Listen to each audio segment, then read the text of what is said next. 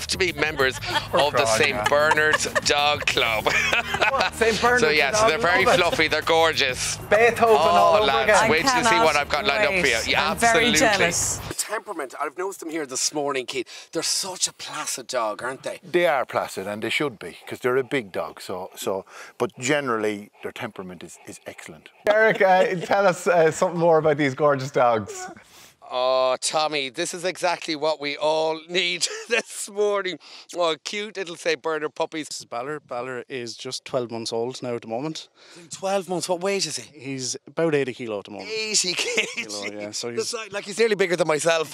He's a big boy, all right. Yeah. Obviously, drying him is a, a big task after after a swim, but it keeps him nice and active and, and fit, you know. I want to get a tour of that house as well. Looks like Alan Hughes' house.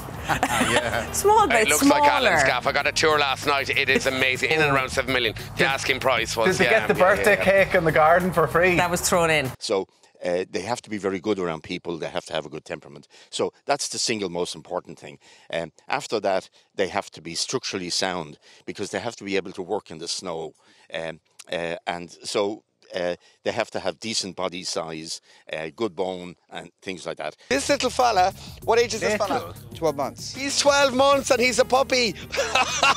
he's huge.